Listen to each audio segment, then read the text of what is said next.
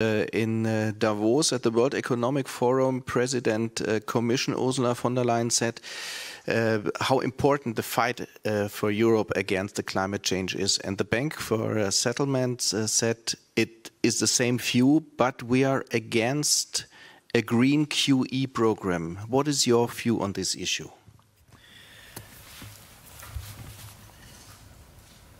I very strongly support um, the President of the Commission in that respect, and in many respects for that matter. Um, we are taking steps, and we have taken steps already in order to um, play the role that we should play concerning the fight against climate, climate change.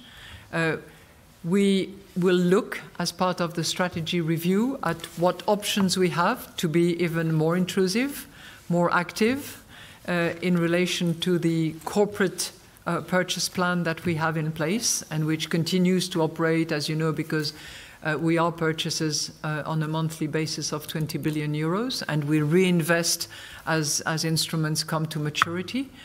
We, we, will look at that and see how we can play our role in accordance with our mandate, indeed.